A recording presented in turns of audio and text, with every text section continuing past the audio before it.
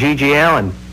Seems like such a happy-go-lucky guy. Sure, he had that brooding rebel without a clue persona, but beneath it all beat the heart of a... Rock and roll is revenge, rock and roll is your enemy, and I'm your enemy. If you get raped at my show, you're probably better off for it.